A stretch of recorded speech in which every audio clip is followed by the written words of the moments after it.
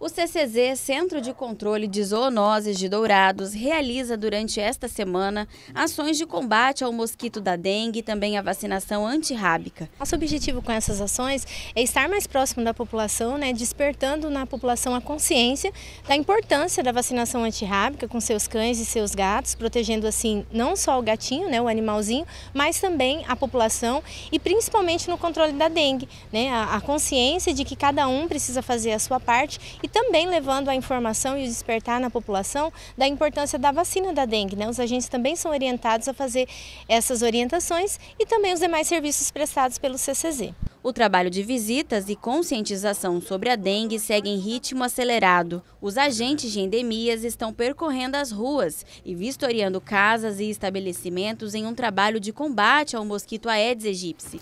Em Dourado, já são 756 casos notificados, sendo 213 positivos, de acordo com o último boletim epidemiológico.